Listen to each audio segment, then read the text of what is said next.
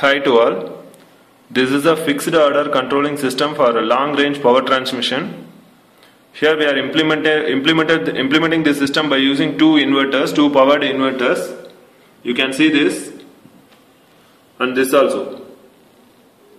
With the help of two channel relay, we are, we are operating north side and east side bulbs.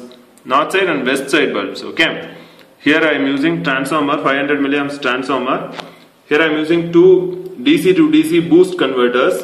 What is the purpose of boost converter is just give if you are giving 3 volt to 5 volt input it will be generating minimum 12 volt to 35 volt power power uh, power out DC power out.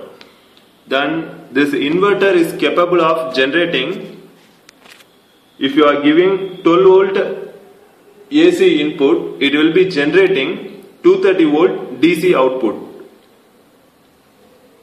Sorry, 230 volt AC output. If you are giving 5 volt, uh, 12 volt DC input, it will be generating 230 volt AC output. That will be fed to this two lamps connected in this system. Here I am operating the entire circuit now See here, it will be generating. Here I am using one PWM. PWM was which purpose? Here I am using potentiometer. No channel is selected. Now I set the channel.